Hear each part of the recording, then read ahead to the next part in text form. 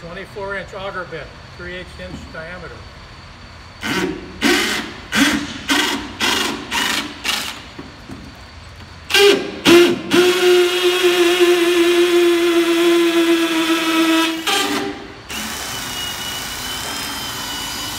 And that's the way it's supposed to work.